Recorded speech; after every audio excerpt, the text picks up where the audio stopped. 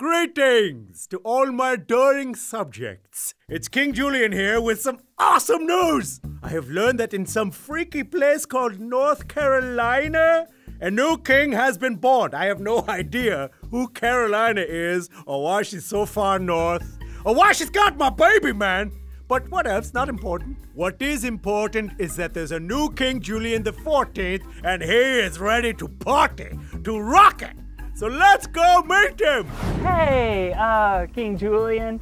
It's Chris here at the Duke Lemur Center in the state of North Carolina. And I have something that I need to tell you. Who? Who? Who? I know you were expecting us to tell you that a new king was born, but our mama lemur gave us all a little bit of a surprise, and we have two new female baby lemurs. Really? You sure? Lots of lemur experts have looked. We're very sure. Yes! So, we wanted to introduce you to Princess Julian 1 and Princess Julian 2.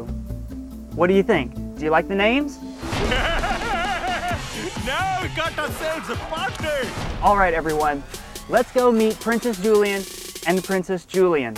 They're ring-tailed lemurs, just like King Julien. And their birth is incredibly important to everyone because lemurs are the single most threatened group of mammals on Earth.